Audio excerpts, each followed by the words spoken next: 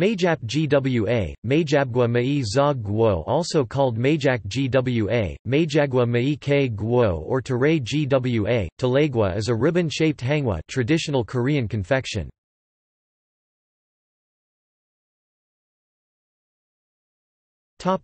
Preparation Wheat flour is kneaded with ginger juice and water, then rolled into a flat sheet.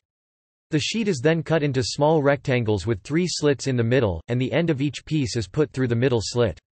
The ribbons are then deep fried, coated in honey or jocheong followed by chopped pine nuts.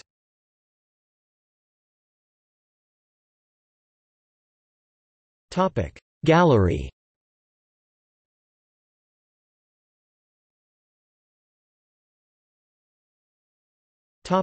See also Angel wings.